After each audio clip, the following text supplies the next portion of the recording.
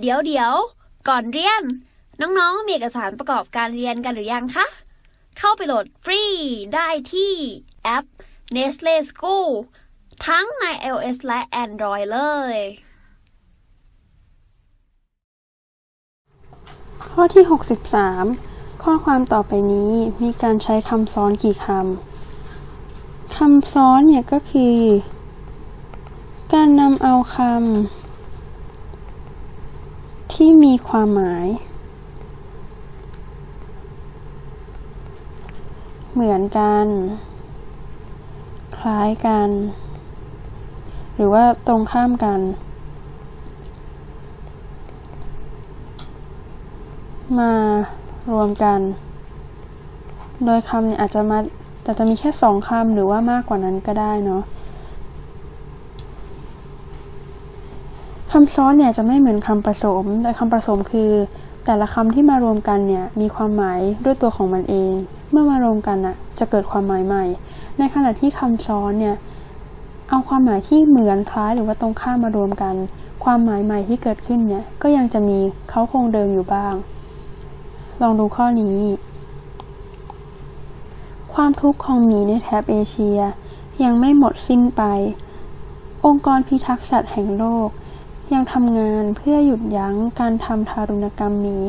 ในรูปแบบต่างๆ เช่น การใช้หมีแสดงละครสัตว์ หรือการบริโภคดีหมี ในขณะนี้มีหมีกว่า 22,000 ตัว ถูกกักขังไว้ในกรงแคบๆ ทุกตัวถูกเจาะรูคาไว้ที่ท้อง เพื่อหลุดเอาน้ำดีของมันออกมาอย่างต่อเนื่อง หมดกับสิ้นเนี่ย หมดก็คือ ไม่มี สิ้นก็เหมือนกัน สิ้นคือมีความหมาย เหมือนกับคำว่าหมด เพราะฉะนั้นสองคำนี้ก็เลยเป็นคำซ้อน หยุดกับยัง้ง ยั้งก็มีความหมายคล้ายๆ กับหยุด รูปกับแบบ รูปก็มีความหมายคล้าย ๆ แบบกักกับขัง กักก็มีความหมายคล้ายกับคำว่าขังนั่นเอง ดังนั้นข้อนี้มีคำซ้อนทั้งหมด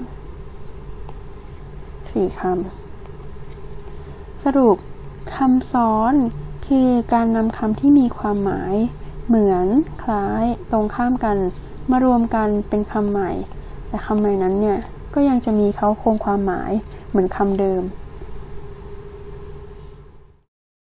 เรียนจบแล้ว อย่าลืม เข้าไปฝึกทำข้อสอบแบบจับเวลา ในแอป Nestle School กันด้วยนะจ๊ะ ถ้าน้องๆมีคำถามสงสัย ไม่เข้าใจตรงไหน ถามว่าในแอปได้เลย แล้วพี่ๆจะรีบเข้าไปตอบให้นะคะหนังสือดีแต่ยังอ่านไม่เข้าใจ มีคลิปความรู้อธิบายไว้ให้ด้วยนะ โห ดีจัง